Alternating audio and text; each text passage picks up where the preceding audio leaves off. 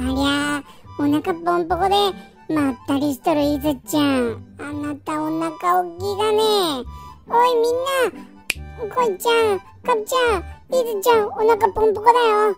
ちょっとかぶちゃんなんで寝とんの？もう YouTube の関係始まっとるっていうのに。こういう風もうビアンカ人の言うことなんか何にも聞いてくれへんこの子たち。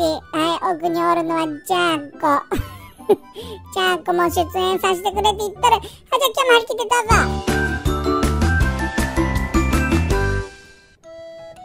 あどうもビアンカ人です。これチャーコがはい。チャーコも出してもらいましたよ。というわけで今日はこれイズちゃん。この子イズちゃん。左側の子。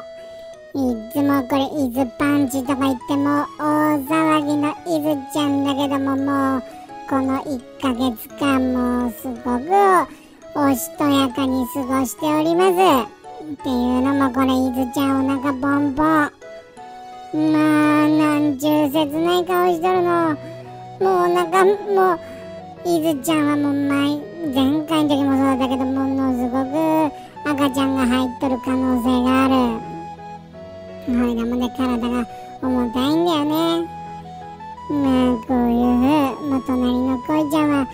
自由気ままに過ごしとるけどもいずちゃんはまあ、とにかく安静して休憩しとったらいいわ。これもチャーコ来たけど、チャーコと遊んでていかんよ、いずちゃん。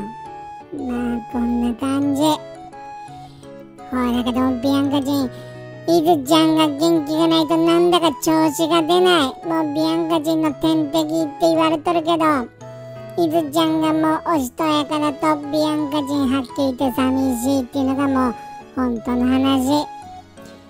それにしてもあなたたちもう骨董の上で何のドラマ性もない2人の姿。もうこんなんじゃこれ YouTube の関係成立しとらんって話。こいちゃんあなたはなんかしてくれたらいいんだけども何にもしてくれません。もうこんな感じでまったり過ごしとる親子ちなみにこいちゃんはいずちゃんの子供あくびしちゃって。っていうわけでもう、パパさんがもう無理やり、なんかドラマが生まれんと、これ話にならんよってことでも、ピアンカチもこっとり無理やり乗せられちゃった。んだけども、もうピアンカ人特にやることないよ。何にもやることない。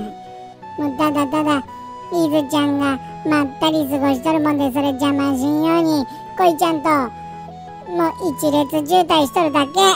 もうこんな感じだよ。ほら今日ここまで。